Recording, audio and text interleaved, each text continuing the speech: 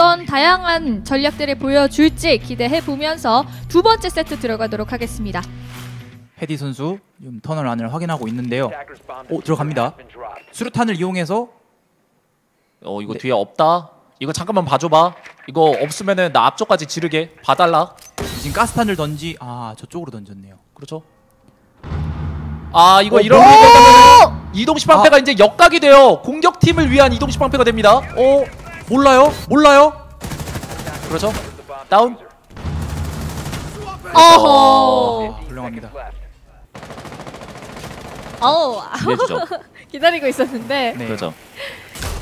오! 아, 이거 근데 너무 잘했어요. 이게 TSM의 볼로 선수가 예전에 한번 대회에서 보여줬던 건데 기가 막혔습니다. 남은 시간? 의미가 없었고요. 50초. 어 다리 오, 톡톡톡톡톡. 보이나요? 보이나요? 아 따거. 실제로 플레이어도 아따가 하고 피하고 합니다. 그렇죠. 어. 내성발 톱사. 굉장히 애매하게 작업을 해놨기 때문에 상당히 껄끄럽습니다. 이렇게 안 볼 거여도 구멍만 뚫어놔도 불안하거든요. 오, 그렇죠. 헤디 잡아냈습니다. 필요는 없고 옵션도 있다라는 거로 지금 브리핑이 나왔을 거예요. 바닥 작업해주고. 어 여기서 이렇게 뚫으면 보이거든요. 어 yellow ping 여기 좀 열어달라. 내가 봐줄 테니까. 이렇게 던져서 카이드를 부수는 거예요. 보시면 아시겠지만. 오 어. 그렇죠. 아 옵저버 좋아요. 아 너무 훌륭합니다. 네. 조금은 혼란하게 진행되고 있습니다. 어, 이 와중에 그레이 선수는 꾸준하게 kill 잘 내주고 있어요. 그렇죠. 이거 보시면 아시겠지만 라운드를 내줬을 경우에 저런 식으로 바닥 작업을 너무 쉽게 허용을 하거든요. 와 아, 그레이. 체력이 없었거든요. 잭도우 선수가 부상만 안 당했으면이라고 생각하고 있을 겁니다. 이번엔 쉽지 않겠는데요. 그렇죠. 바닥 작업.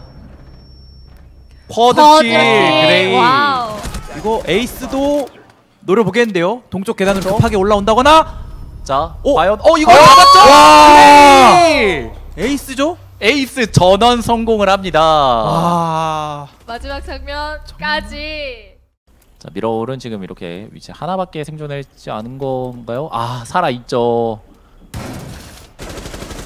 들어봅니다만 그렇죠. 팔렛 붙이는 순간 어디인지 알 수밖에 없고 이거 드롭할 수 있는 위치가 있나요? 커넥터는 뚫어놨는데 이 주방 트랩도어를 뚫지 않았어요. 소리 들렸죠?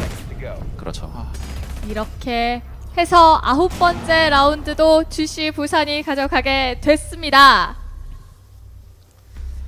승리까지 맛본 라운드 7대 2로 마무리되면서 2세트까지 주시 부산이 가져가게 됐습니다.